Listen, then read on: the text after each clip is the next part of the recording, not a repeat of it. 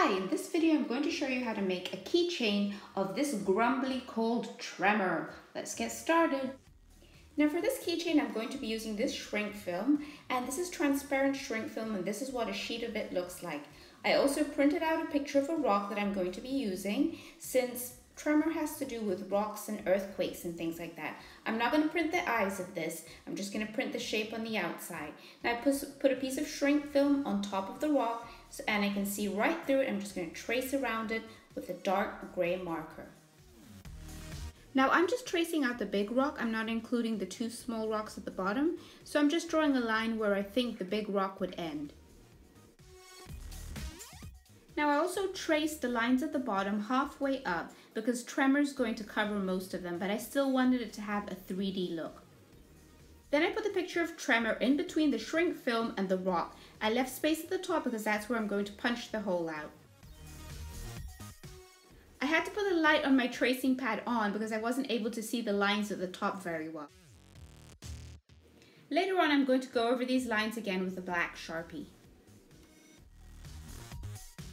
Next, I colored in Tremor's eyes with a black Sharpie and when I was finished doing that, I used my dark gray marker again just to go over his eyelids. Now his eyelids have a really cool design, but I skipped the design because it was a little hard to see and it was a little too complicated. So I just colored them in gray.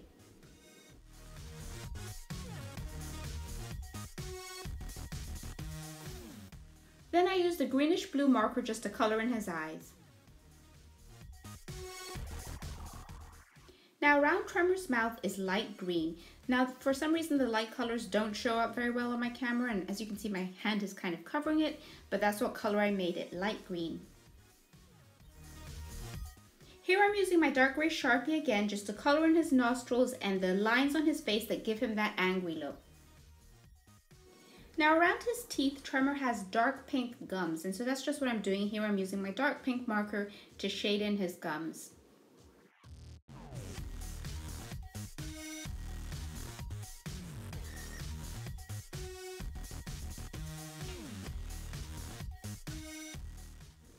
I used my bright red marker to color in his tongue and as you'll see later on in this clip, I used my dark gray marker just to color in the middle a little bit to give it more dimension.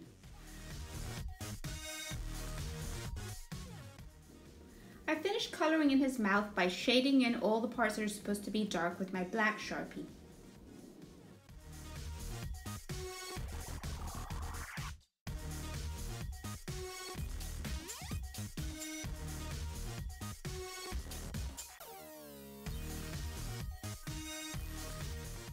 Now it's time to color in his hair and for that I'm using this yellowish greenish neon marker that looks like the color of his hair.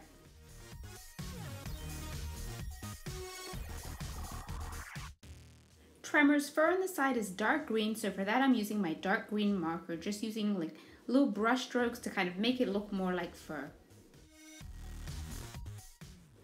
Here I'm just coloring the little spikes or tufts of fur that he has sticking out all over him.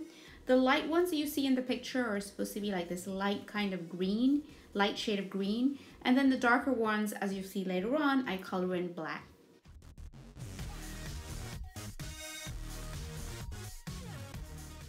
Now it's time to color in the main part of Tremor's body, which is bright green. So for that, I'm using my bright green Sharpie here.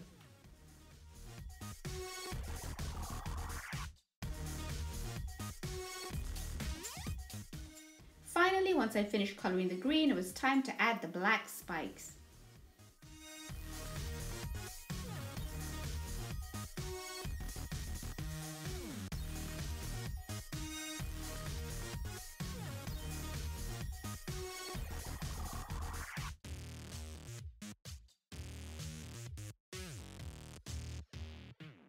Once I finished coloring all the spikes, I went over the lines on the rock again with the black marker this time. Because once I color in my rock gray, these gray lines will not really show up. Now it's time for the final coloring that I had to do. Again, I'm using my dark gray marker just to color in my rock before it's time to put Tremor in the oven.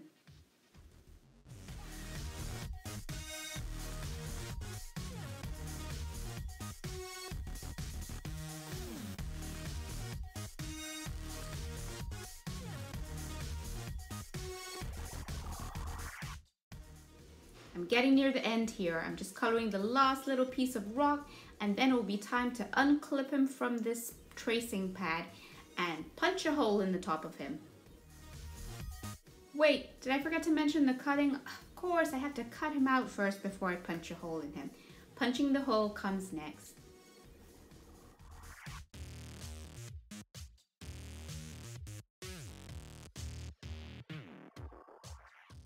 Now it's time to punch the hole. So I just punched the hole right above his hair.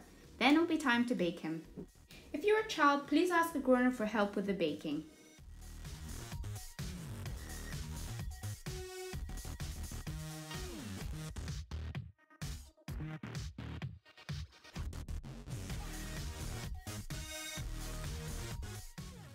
Once Tremor had baked and cooled, I added a keychain to him. And this kind of keychain you actually need two pliers and C-rings for, but this keychain on the right called a ball chain keychain you do not need any pliers for. Thank you so much for watching this video. Please don't forget to like, subscribe, post in the comments, and please don't forget to share this video. And if you want to see more videos like this, click on any of the videos you see in front of you. Thanks for watching.